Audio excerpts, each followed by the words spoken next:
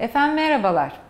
Ben çok beğenerek izlediğim bir siyaset iletişimi uzmanı ki bunun altını çiziyorum. Size de birkaç kez daha e, sohbetimiz sırasında ifade edeceğim. E, bir siyaset iletişim uzmanı Gülfem Saydan Sanver. İsim uzun ama e, yaptığı şey çok net. Türkiye'de de çok az e, kişi var bu alanda profesyonel olarak çalışan. Bununla da ilgili belki birkaç cümle söyler. Bir kere hoş geldiniz. Hoş bulduk, merhaba. E, seçimle ilgili bir şey konuşmak içimi acıtıyor.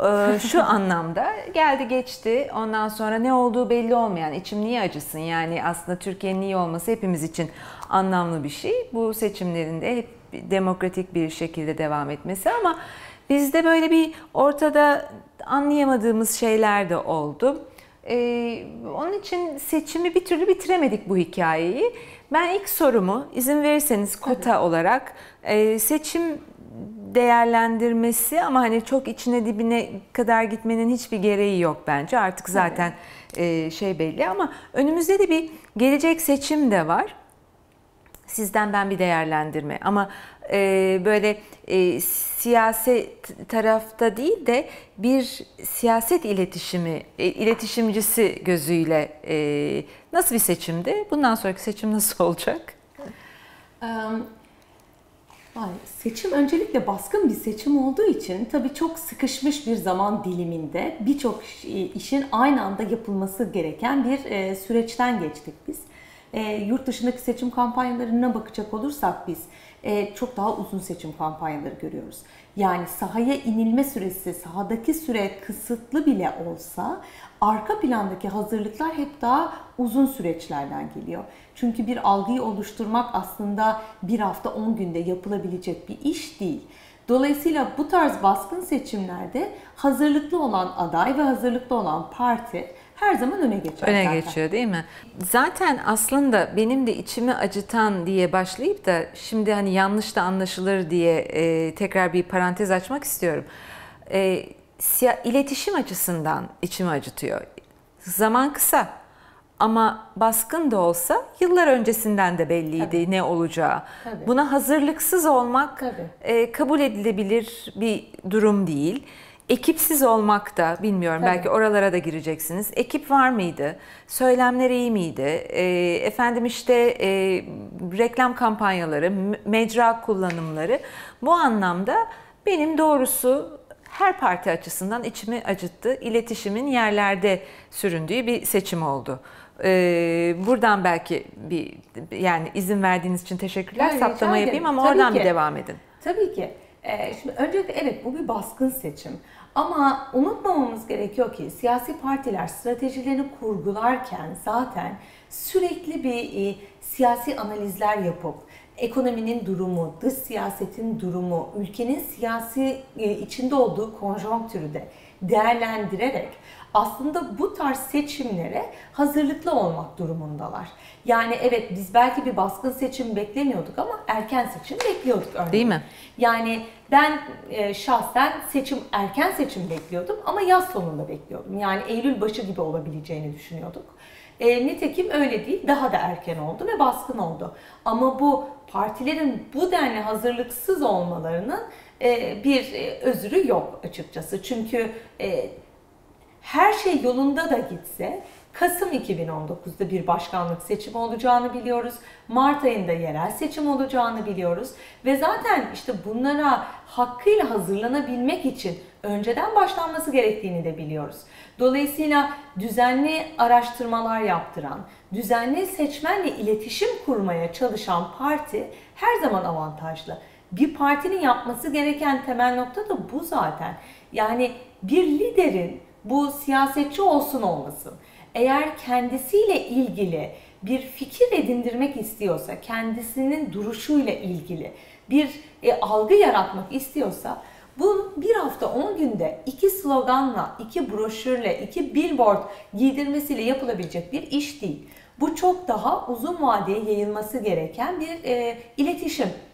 Strateji, Bayağı ciddi kan, gözyaşı ve ter yani Tabii e, ki. ekip işi. Tabii Ekip ki. var mı? Yani ekipler tabii ki çok var. Yani ben hep Tabii bir ki. kalabalıklar görüyorum ama kalabalıkların her zaman ekip olmadığı ve veya daha spesifik soracak olursam iletişim ekibi, e, profesyonel iletişim ekipleriyle mi çalışıyor siyasi e, siyasiler?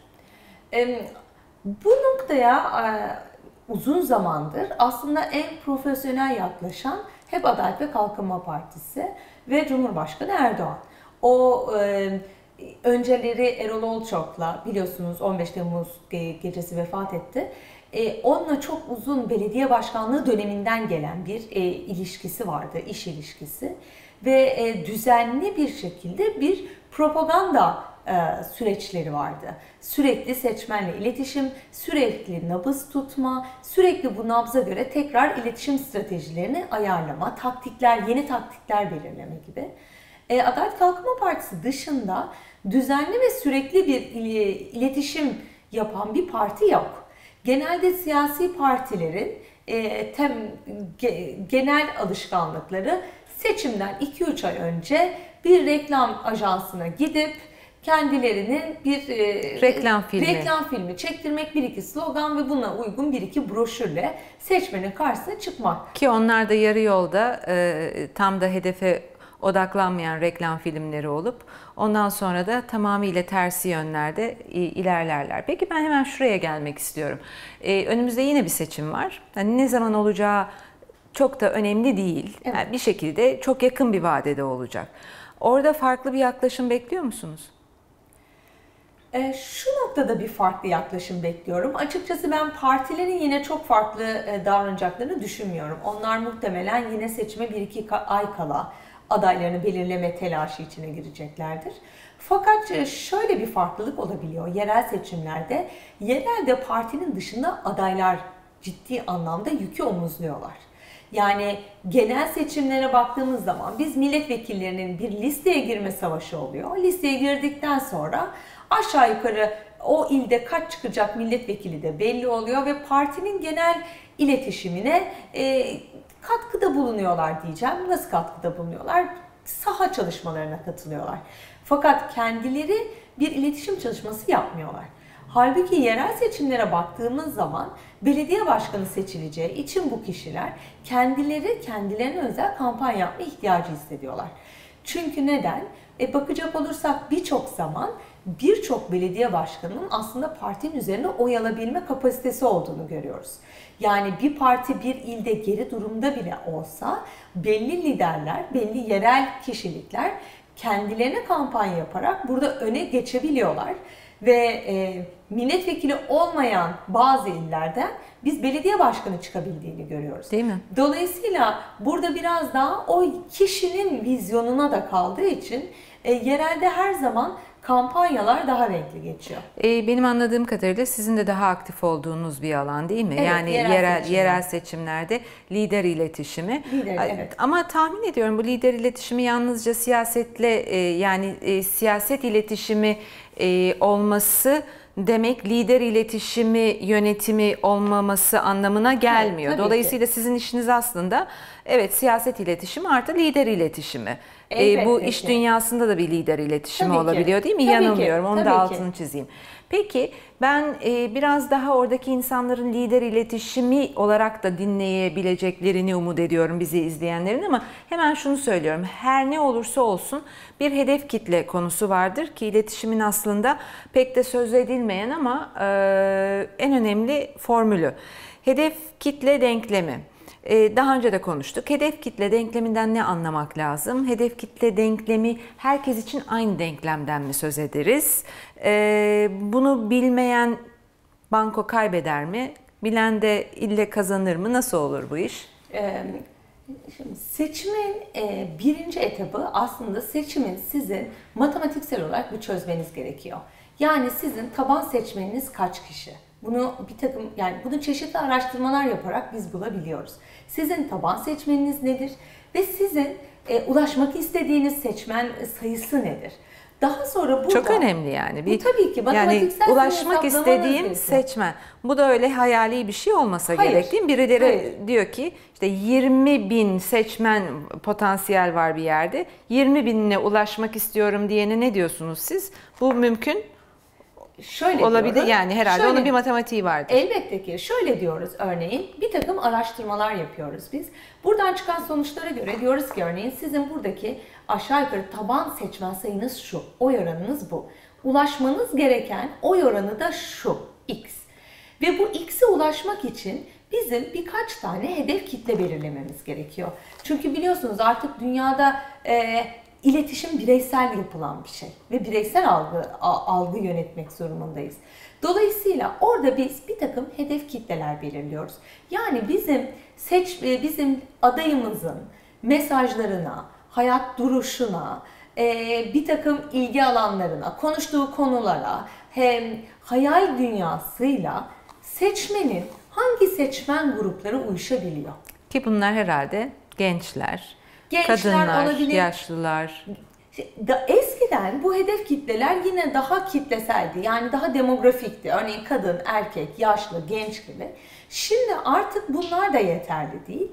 Daha bunların ayrıntısına girilmesi gerekiyor. Yani e, 40 yaşında büyük şehirde oturan bekar bir kadınla 50 yaşında iki çocuk annesi, e, nispeten daha Anadolu'da yaşayan bir kadının beklentileri ve hayata bakışı aynı değil. Dolayısıyla siz aynı mesajla ikisine birden ulaşamazsınız. Ama yine de demografik hep değil mi değerler? Yani şunu sormak için bu, bu böyle bir Tabii. cümle e, kurdum. Ee, hala biz işte iki çocuklu 50 yaş ya da işte çocuksuz 30 yaş gibi gibi Tabii. değerler kullanıyoruz. Ama e, bu hedef kitlelerin içerisinde birazcık daha ayrışan e, ben e, işte e, veganım Tabii. diyebilen, öbür tarafta ben nükleer santrale karşıyım diyebilen burayalara gidiyor mu Türkiye'de seçmen e, hedefi ya da işte o denklemin içerisinde böyle bir şeyler görüyor muyuz şu anda? Ee, Şu anda biz bunu Türkiye'de görmüyoruz. Bu kadar ayrıntısını görmüyoruz. Biz şu anda ne görüyoruz? Biz şu anda Türkiye'de hala e, kampanyalara baktığımız zaman en çok e, demografik olarak ayrışmalar görüyoruz. Ama yurt dışındaki kampanyalara baktığımız zaman işte tam da bu sizin dediğiniz farklılaşmaları görüyoruz. Ve aslında bu farklılığa mesaj vermeyi ilk başaran lider öne geçiyor. Değil mi? Yani bunu anlayıp bu şekilde mesaj vermesi gerektiğini anladığı anda lider orada öne geçmesi gerekiyor. Bu biraz önce siz e, lider iletişiminden bahsettiniz. Şöyle bir dünya var aslında Yaprak Hanım. Sizin seçmene bir hikaye anlatmanız lazım. Sizin seçmene bir hikaye anlatmanız ve o hikayenin kahramanı olduğuna da seç, sizin o hikayenin kahramanı olduğunuza da seçmenin inanması gerekiyor. Dolayısıyla siz aslında onlara bir dünya anlatmanız gerekiyor. Eğer siz onlara bir dünya kuramazsanız sizin işte o bölük pörçük verdiğiniz vaatler bir pazarcı çantası gibi algılanır. Yani gençlere şu kadar e, ikramiye, kadınlara bu, e, işte erkekler, yaşlılara şu Evet, derseniz- vapurdaki e, seyyar satıcı gibi açıkçası. bunun, bunun hiçbir anlamı yok. Sizin bütün vaatlerinizin birbiriyle tamamlıyor olması lazım ve bu bir hikayeden yola çıkıyor olması lazım. Lütfen sözünüzü unutmayın ama burada şöyle bir soru sormak istiyorum ben. Ee, bu vaatler ya da hikaye yani hikaye, hikayenin içerisindeki vaatler. Ee, o dünya görüşüne de inanıyor olmak lazım herhalde. Elbette. Çünkü- yani o yoksa Tabii, elbette onlar ki. çok sırıtıyor. Çok. Ee, sanki bir pazarlama unsuru imiş gibi görünüyor. Yani bir liderdeki bizim e, baktığımız zaman en önemli özellik sahici olması. Sahici mi bizim liderlerimiz? Ee, Yani kişi söylemeyelim. Yani bir, bir değerlendirme yaptığımızda nerede sahicilik sırasında ya da çok sahici oldukları için mi böyle çok ezici e, şeyler oluyor? E, Ne, ne görüyorsunuz? Kokladığınız değerler ne? Bu ciddi bir sosyolojik de e, veri. O aslında e, sahici mi değil mi derken şuna bakmak gerekiyor. Seçmen kendi hayat hikayesini arıyor liderlerde. Ve o hayat hikayesinin noktalarını bulduğu no, miktarda lideri sahici buluyor. Yani sizin hiç sahici ol, olduğunu düşünmediğiniz bir lideri başka bir seçmen çok sahici bulabilir. Çünkü o kendi hayat hikayesiyle bağlamıştır. İşte o yüzden diyorum ki bir liderin mutlaka bir hikaye anlatıyor ve o hikayenin karşısındaki hedef kitleyle örtüşüyor olması gerekiyor. Yoksa sizin sahici olduğunuzu inanamazlar. Sahiciliğin hemen arkasında örneğin liderin vizyoner olmasını istiyor. Yani şunu istiyor aslında seçmen. Benle ortak bir hikayesi olsun ama bana bir yol göstersin. Çözüm. Bana bir çözüm önersin. Değil mi? Daha Benim iyi ne yaşadığımı bilsin, bilsin. ama bana bir çözüm göstersin. Ama sanki bizim e, yığınlar hani bu e, benim gibi olmayan ama çözüm gösterene mi doğru gidiyor? Yani orada bir farklılaşmaya mı gidiyoruz biz toplumsal e, şey tabanda? Aslında- Kendinden görebildikleri bir lider e, bir tane kadın vardı. Yani Türkiye'de kadının durumu belli. E, hepimizin al- alkışlarız. Kadın olması çok çok önemli. Genç yoktu. E, görece genç vardı değil mi? E, yani bunlar gelecek seçimlerde de ortaya çıkacak olan Hepsi unsurlar çıkacak. herhalde. Ee, e, en baştan mesela örnek vermeye başlayayım ben. Ee, örneğin Cumhurbaşkanı Erdoğan. Şimdi çok uzun süredir yazdığı bir hikayesi var ve bunu bir şekilde seçmene geçirmeyi başarmış. Dolayısıyla seçmenle kurduğu çok büyük bir duygusal bağ var. Yani aynı kökenden gelmeleri, aynı sosyoekonomik çevreden gelmeleri gibi. Aslında biz son dönem ne görüyoruz? Bu hikayede büyük kırılmalar görüyoruz. Yani hala o geldiği profil gece kondularda yaşarken kendisinin bambaşka bir hayat hayat yaşadığını görüyoruz. Peki onu nasıl yorumluyorsunuz? Hala onu öyle mi görüyorlar? Yani öyle mi algılıyor? Siz bunu mu görüyorsunuz? Evet, hala aslında aynı hikayeyi paylaştığını düşünüyor. Hala o hikayede bir farklılaşma olduğunu görmüyor. Neden görmüyor? Çünkü onu görebilmesi için başka bir lideri görmesi lazım. Kampanyalar zıtlıklar üzerine kurulur. Ve aslında siz rakibinizle zıtlığınızı göstermeniz lazım. Diğer adaylara bakacak olursak hiçbiri bu zıtlığı tam olarak seçmene yaşatamadı. Macron mesela yani kendi yerel seçimlerimizden ya da işte genel seçimlerimizden çıkacak olursak sanıyorum Macron bunu gösterebildi. Yani Evet. farklılığı gösterebildi. Farklılığı gösterebildi. Ama o da şu anda o farklılığını seçildikten sonra gösteremiyor. O ayrı Evet. bir e, konu E, ama Örneğin Meral Akşener. evet. Aslında bir kadın olarak özellikle bu dönem çok büyük bir avantajı vardı. Neden? Çünkü bu dönem çok sıkışmış bir seçmen grubu vardı. Bunalmış, sıkılmışmış. Ve bu seçmen grubu yeni bir lansman bekliyordu. Bir doğum bekliyordu. Ve bu yeni doğum bir kadın olarak aslında çok rahat üstlenebilirdi. Ama Meral Hanım öyle yapmadı. Meral Hanım nötr bir lider olmak istedi. Yani biz Meral Akşener dediğimiz zaman çoğu seçmen aklına bir kadın gelmiyor. Sadece bir siyasetçi geliyor. Nötr bir kimlik geliyor. Biz Bilinçli mi yaptı bunu? ben bilinçli yaptığını düşünüyorum. Ben bilinçli yaptığını düşünüyorum. Ama o anne, o e, işte hiçbirini ortaya çıkarmadı. başörtüsü, şu bu Hiçbirini falan. ortaya çıkarmadı. Örneğin biz Meral Akşener'in bir oğlu olduğunu, aslında bir torunu olduğunu, bir ailesinde kadın ege, e, erkek egemen bir aileden geldiğini. Bunu ancak kendisiyle konuşursanız, belli bir takım hayat öyküsünü yazdığı kitapları okursanız anlıyorsunuz. Ama seçmenin karşısında gördüğü o değil, seçmenin karşısında gördüğü daha nötr bir siyasetçi ve güçlü bir kadın. Yani siz aslında hepimizin gözünün önündeki baktığımız ama gördüğümüz resimden söz Evet. ediyorsunuz. Ben de burada bence burada alınacak çok ama çok önemli Evet. dersler var. Bu gerçekten yalnızca siyasetçiler için de değil, hani Tabii bütün ki. liderler için. Peki mesajlara doğru gelirsek, mesajlarda e, şöyle bir şey söylesem acaba e, haksızlık mı etmiş olurum? Lütfen hem bir yandan sizi Tabii de ki. böyle soruya dönüştürmüş olayım. Ben mesajların hepsinde e, ilk dönem dışında e, orta ve sonlara doğru çok sıkıldım. Mesajlarda hiçbir liderde hiçbir değişiklik görmedim. Hep aynı şeyleri anlattılar.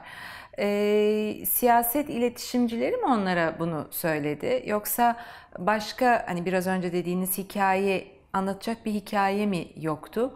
Neden böyle bir yol seçildi? Am, Öncelikle Cumhurbaşkanı Erdoğan'ın e, çalıştığı bir ekip olduğunu biliyorum. Fakat diğer e, adayların ekiplerinin ayrıntısını bilmiyorum. Ama e, büyük ekipleri olmadığını da biliyorum. Zaten baskın seçim nispeten Muharrem İnce işte 47-48 gün önce ilan edilmiş bir aday. Meral Hanım 8 ay önce kurulmuştu ve e, tam olarak bir kampanya ekiplerini ne kadar toplamayı baca, beş, e, becerebildiler açıkçası bilmiyorum. Ama kampanyalarına baktığım zaman e, çok eksik noktalar görüyorum elbette ki. Yani e, mesajlarınızı sizin kurgularken biraz önce söylediğim gibi öncelikle bir bütünü anlatmanız lazım. Şimdi biz bunu liderlerde çok görüyoruz. Yani siyasetçilerde de görüyorum ben bunu. Ya da bazen iş dünyasından insanlarla çalışırken de çok sık görüyorum. Kendi markalarına, kendi e, şirketlerine, kendi partilerine o kadar büyük bir aidiyet, o kadar büyük bir e, e, hayranlık duyuyorlar ki seçmene bunu anlatmaya çalışıyorlar ya da müşterilerine bunu anlatmaya çalışıyorlar. Nedir mesela? Yani bunu birazcık daha somut nasıl anlatabilirsiniz bana ki bizi de izleyenler bunu anlayabilsinler? Çünkü öne ben enteresan bir şey söylediğinizi düşünüyorum. Ee, örneğin Cumhur, Cumhuriyet Halk Partisi'nin ne kadar e, önemli değerler taşıdığını anlatıyorlar. Ya da örneğin bazen bu değerleri anlatmaya başlıyorlar. İşte demokrasinin ne kadar önemli bir değer olduğunu anlatıyorlar. Halbuki seçmen bununla ilgilenmiyor. Yani seçmen ne Cumhuriyet Halk Partisi'nin kurumsal kimliğiyle ilgilenir ne bu tarz soyut kavramlarla ilgilenir. Elle tutamıyor. Siz bunu ona hayatından örneklerle anlatmanız lazım. Yani siz adaleti adalet olarak ona bu şekilde adalet derseniz anlamaz ama bir mağduriyetini anlatırsanız o adalete sizden daha çok sahiplenecektir. Demokrasinin neden önemli olduğunu ona somutlaştırırsanız sizden daha sahiplenecektir demokrasiye. Ama bizde maalesef bu yapılmıyor. Ya soyut bir kavram halinde anlatıyorsunuz siz seçmenlere, anlamıyor. Ya da hiç bahsetmiyorsunuz. Örneğin bir dönem e, demokrasiden hiç bahsetmeyelim, bunun hiçbir önemi yok, bizim seçmenimiz bununla ilgilenmiyor dendi. Bu hiç bahsedilmemeye çalışıldı. Şimdi bu da yanlış. Seçmene ona anlatıyor olmanız lazım. Neden önemli olduğunu onun hayatı için. Çünkü seçmen kendi hayatını iyileştirmekle ilgili. Aslında tüketici de böyle. Siz ona bir ürün sunarken o aslında kendi hayatını nasıl kolaylaştıracağınıza bakıyor. Yoksa sizin o ürün markasına atfettiğiniz değerle o ilgilenmiyor. Bu onun umurunda değil. O bu ürünü kullanırsa nasıl bir fayda elde edeceğine ilgili. Seçmen de böyle. Yani siz ona demokrasinin yaşatırsanız ona faydası ne olacağını türban meselesinden örneğin yola çıkalım. Siz türbanlı bir kadına bunu anlatabilirseniz aslında demokrasinin türbanının türban giymesinde de ne kadar önemli olduğunu ya da örneğin toplumsal barışın aslında onun türbanıyla ne kadar ilgili bir şey olduğunu anlatabilirseniz o toplumsal barışı sizden daha fazla sahiplenecek. Ama hayır siz bunu anlatmaz. Sloganlar halinde. Sloganlar halinde. Sadece basit bir tabii ki biz de türbana hoş bakıyoruz derseniz o bunu anlamayacak. Yer etmiyor değil mi içinde hiçbir, aslında? Hiçbir şekilde yer etmiyor. E, o zaman kim nerede nasıl hata yaptı diye sormak istemiştim ama zaten hani adlı adınca kimseyi söylemeye gerek yok ama hataların hepsini üç aşağı beş yukarı e, tabii daha farklı hatalar da e, var ama bizde yapılan bence temel yanlışlardan biri de siyasetçiler birçok zaman sokaktaki duydukları bir takım kişilerden duydukları lafları fazla önemsiyor olmaları. Yani aslında siyaset iletişim bir bilim. Bunun araştırmaları var, adımları var. Dolayısıyla bir kişinin size gelip örneğin bu slogan hiç doğru değil, bu söylediğiniz laf hiç doğru değil gibi parça başı eleştirilere fazla kulak kabartıyorlar. Ya da parça başı övgülere de fazla kulak kabartıyorlar. Halbuki iletişim böyle bir şey değildir. Siz belli bir şeyi, belli bir mesajı verirken ya onun arkasında bir şey vardır ya onun bir sonraki ana vereceğiniz mesajın ön kurgusudur o. Dolayısıyla böyle parça başı eleştirilere, parça başı övgülere baktığınız zaman hep yanılırsınız. İkinci örnek, yurt dışındaki biz seçim kampanyalarını incelediğimiz zaman çok fazla alabileceğimiz ders olduğunu görüyoruz. Bunları anlattığınız zaman ben en temel karşılaştığım eleştiri Türkiye'nin farklı olduğuna dair. Hep Türkiye farklı, Türkiye dinamikleri farklı. Türkiye elbette ki farklı ama insan dinamikleri değişmiyor. İnsan yapısı da değişmiyor, algıları da değişmiyor. Bir örnek vermem gerekecek olursa, örneğin biz yurt dışındaki birçok seçim kampanyasında şunu gördük ki seçmeni korkuttuğunuz zaman seçmen sağ muhafazakar siyasete eğimleniyor. Sağ muhafazakar liderlere ilgi duymaya başlıyor. Korkan seçmen her zaman ön yargılarıyla daha fazla davranan seçmen oluyor. Ve korkan seçmen değişim istemiyor. Düzenden yana oluyor. O düzenden memnun olmasa bile bildiği düzeni istiyor korktuğu için. Seçmeni örneğin değiştirebilmenin en temel yolu seçmende kızgınlık yaratmak ve bir umut. Çünkü kızgınlığı işleve geçiren nokta umut. Biz bunu çok iyi biliyorduk. Örneğin Cumhurbaşkanı Erdoğan bu korku stratejisini çok güzel kurguladı. Hem eski Türkiye'yi hatırlattı. Onlara o eski korkularını hatırlattı. Türbanı hatırlattı. Türbanla girilemeyen üniversiteleri hatırlattı. Ee, sağlık sistemindeki aksaklıkları hatırlattı. Şehirlerin altyapısını hatırlattı. Eskiyi onlara bir hatırlatıp Doğru. oradan bir korku yapıp bir de ne yaptı? Bu stratejisini geleceğe de taşıdı. Dış mihraklar kavramıyla aslında ekonominin de kötüleşebileceğinden korkuttu. Dış siyasetinde onları korkuttu. Yani aslında geçmiş gelecekle bir korku dünyası yarattı. Yani kendisinden sonra gelecek bir başka kişi olursa bırakılan noktadan alıp tekrar istikrarlı bir şekilde götüremezmiş değil mi? Korkusunu Bu, bunu, yarattı. bunu yarattı. Muhalefet de bunu kıramadı aslında. Çünkü korkunun karşısına korku koyduğunuz zaman hiçbir zaman bunu kıramıyorsunuz. Ee, bunu örneğin yurt dışından bir örnek vereyim. Örneğin Trump bir korku Amerikası yarattı. Göçmenler üzerinden bir korku yarattı. Göçmenler işinizi alıyor, alacak diye bir korku yarattı. Evet. Ee, ekonomi üzerinden bir korku yarattı ama bir korku toplumu yarattı. Hillary Clinton da buna cevap verebilmek için e, korkulacak bir Trump yarattı. Yani dedi ki Trump çok tutarsız bir adam, sosyal medya üzerinden ülke yönetecek bir adam. Böylesi bir adamın eline nükleer kodlar verilirse bir felaket olur diye yaratılan korku toplumunun karşısına korkulması gereken bir Trump koydu. Şimdi seçim sonrası yapılan araştırmalar şunu gösteriyor ki aslında Hillary Clinton'ın mesajlarından insanlar korku bölümlerini almışlar ve o korku bölümlerini Trump'ın mesajıyla birleştirince iyice korkmuşlar ve sağ lidere kaymışlar. Yani yine Trump'a kaymışlar. Trump'a kaymışlar. Dolayısıyla tamamen yanlış bir strateji yapmış. Bunu aynı benzerini biz de yaşadık. Biz de yaşatılan bu korku toplumunun karşısına muhalefet liderleri korkulması gereken bir lider koydular. Ve zaten korkunun karşısında korku kaybedeceği için seçmen var olan düzene, daha önce duygusal bağ kurduğu lidere yönleniyor yönlendi değil mi? ve seçimleri de aynı şekilde sonuçladı. Galiba bir türlü kendi e, şeyini kıramıyor muhalefet. Yani her seçimde ben şimdi biraz daha pozitif olayım, ben şimdi daha e, olumlu olayım diyor ama mutlaka o ibre seçimin sonunda aynen verdiğiniz örnek gibi e, yolunu kaybedip tekrar o, o tarafa doğru e, dönüyor. Burada e, size sizlere mi inanmıyorlar? Sizleri mi kullanmıyorlar? Ya da sizlerin sözünden mi çıkıyorlar? E, nedir buradaki dilema? Bir kere zaten bir siyasal iletişimciyle çalışan e, lider bir elin parmakları kadar az. Dolayısıyla zaten böyle bir şey kurgulamıyorlar.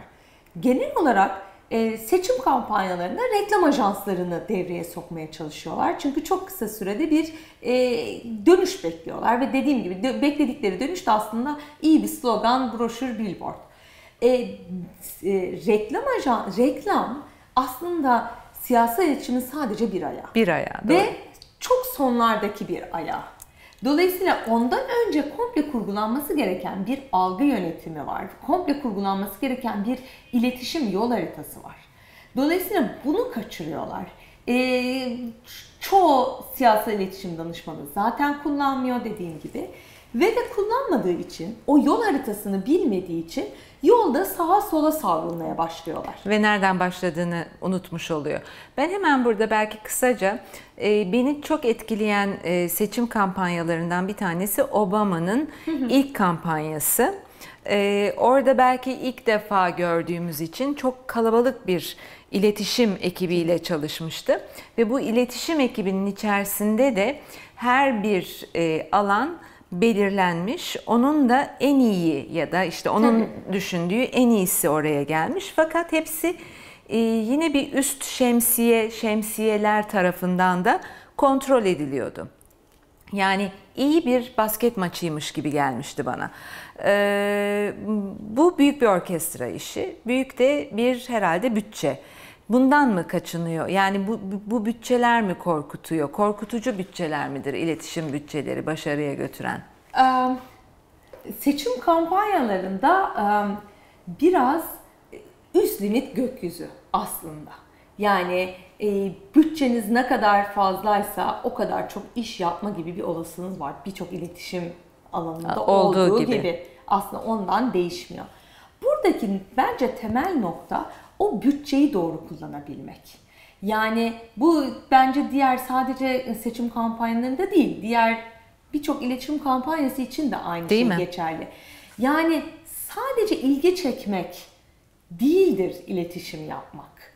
Yani sizin aslında bir biraz önce söylediğim gibi bir algı oluşturmaya çalışıyorsunuz, bir mesaj vermeye çalışıyorsunuz ve bir e, o anlamda örneğin siyasette seçmense bu seçmenden oy almaya çalışıyorsunuz. Ya da ürününüzü satmaya çalışıyorsunuz. Sizin alıcınız kim? Kim olabilir? Hedef kitleniz kim? Bir kere bunu belirleyebilirseniz iletişim kanallarınızı da buna göre doğru belirleyip bütçenizi de buna göre ayarlayabilirsiniz. Örneğin siz yaşlı seçmene ulaşmak için online'a çok ciddi bütçe ayırıyorsanız bu bir hata ya da tam tersi. Nerede olacaksınız?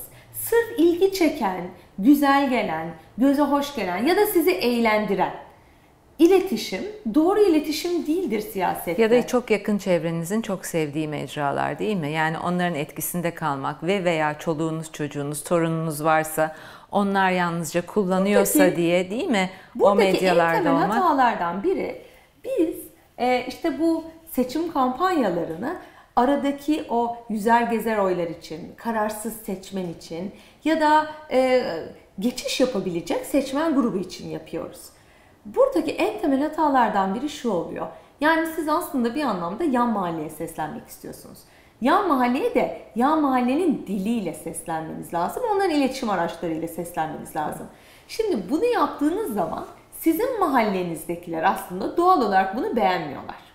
Ve lider işte orada eğer kendi yakın çevresine dinlemeye başlarsa böyle bir paniğe girmeye başlıyor. Yani işler yolunda gitmiyor. Gitmiyor.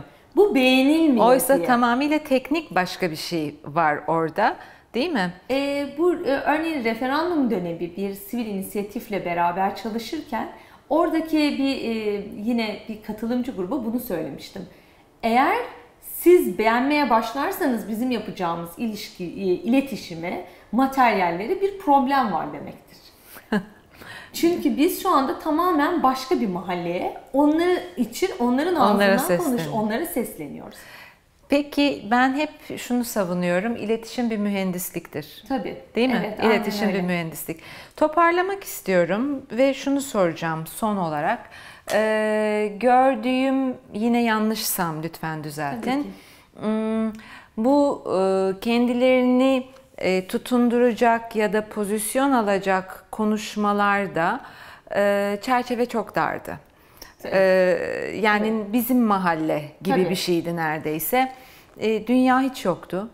E, seçmen mi talep etse daha fazlasını verirler yoksa yani gerek mi görmüyorlar yoksa bilmiyorlar mı? Yani eğer bakıp da G e, borsadan e, dışarıya çıkartılıyorsa Amerika'da ya da efendim vergiler artıyorsa bambaşka bir e, savaş başlıyorsa öbür tarafta kadınlarla ilgili bir durum söz konusuysa bunları takip mi etmiyorlar, ilgilenmiyorlar mı? Ya da biz mi e, bunlara ilgilenmiyoruz? Nedir? Şimdi e, seçim kampanyalarında aslında hep şunu söylüyoruz. Artık ulusal değil bu kampanyalar. İşte e, hatta şöyle gidiyordu kurga. Daha önce hep makro mesaj verirdi liderler daha ulusal çapta. Sonra de, denildi ki yani bu iletişim, siyasi iletişimin e, gelişiminde daha yerel olunması gerekiyor. Hatta şimdi bunu bireysele kadar indirdik biz. Bireysel mesaj vermeniz lazım. Yani e, o mahalledeki Ayşe teyzeye ulaşıyor olmanız lazım. Bunu söyleyince de yanlış anlaşıldı. Zannedildi ki sadece o Ayşe teyzeye bir e, şey söylenmesi gerekiyor. Hoş o da tam yapılamadı ama şimdi bunun temel nedeni şu Yaprak Hanım. Biraz önce verdiğim örnekteki gibi sizin seçmeni bir dünya çizmeniz lazım. Bu dünyayı çizmiyorlar. Aslında siz o dünyayı çizebilseniz seçmene hepsini içinde anlatabileceksiniz. İşte o zaman Ayşe teyzenin sorununu çözebileceğinize de Ayşe teyzeyi ikna edeceksiniz. Yoksa Ayşe teyzeye gidip ben 500 e, lira emekli ikramiyesine zam yapıyorum dediğiniz zaman Ayşe teyze ona inanmıyor. Siz bireysel mesaj verdim sanıyorsunuz ama hikayenin bütünü yok. Dolayısıyla evet. aslında siz ona bir bütünlüklü bir hikaye sunsanız onun sorunu çözebileceğine ikna edebileceksiniz. Hata bu oluyor. Ya çok yukarıda kalınıyor Sadece bunlar anlatılıyor ya da çok böyle nokta bir vaat veriyorsunuz. Biraz önce dediğim gibi pazarcı çantasından kalemi çıkartmışsınız gibi. Dolayısıyla siz buna inanmıyorsunuz. Bir dünya çiziyor. Yani siz niye varsınız? Niye size oy versin birisi? Değil mi? Asıl e, e, çok önemli bir soru. Ee, Güldem Saydan Sanver çok çok teşekkür ediyorum.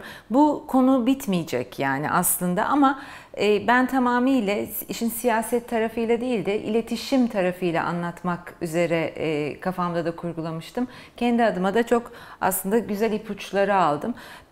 E, söz alalım.